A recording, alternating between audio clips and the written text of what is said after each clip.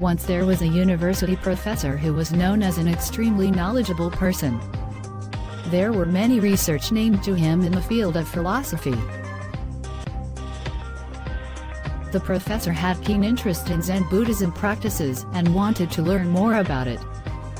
He visited a famous Japanese Zen master. Good morning, Master. Good morning, Professor. I am pleased to see you here. Please tell me what can I do for you? I have come to learn the pearls of Zen wisdom from you. Sure, why not? Let's go inside. I have come all the way to learn Zen Buddhism from you. Please enlighten me by teaching me about Zen. Okay, Professor. But, before that I will request you something. Yes, please tell me Zen Master. Professor, you are known for your knowledge everywhere. Please share something with me. Also tell me what all you know about Zen. The professor started telling about his research in different fields one by one. After some time, he started sharing his knowledge about Zen. The Zen master listened him silently for an hour. Zen master interrupted and asked the professor, Hey professor, would you like to have a cup of tea? Sure. One of the Zen master's disciple disappeared and came back with two cups and some steaming tea. The master started pouring the tea into the cup and smiled towards professor. The professor kept continuing sharing his knowledge on Zen to the master. Zen master was pouring the tea slowly slowly and the cup got filled fully. But, he did not stop and kept pouring the tea in the cup. The tea started overflowing on the table. The professor noticed it and continued to watch, as the tea overflowed.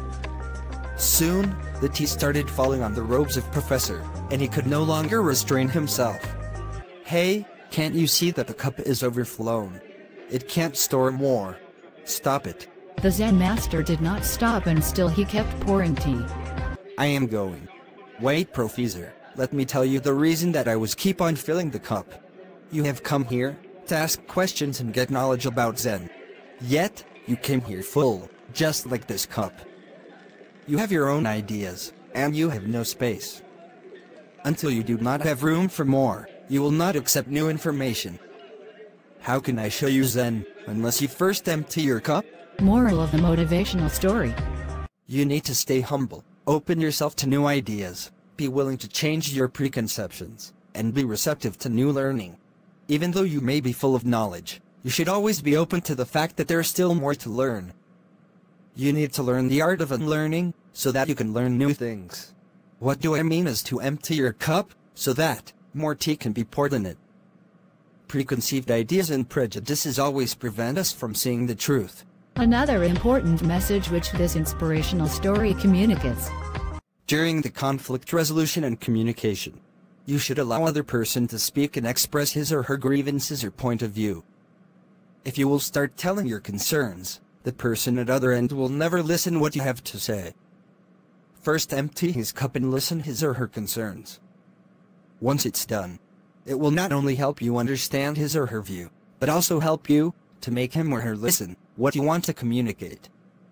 Listening and communication is of utmost importance. Thank you. Please subscribe our YouTube channel.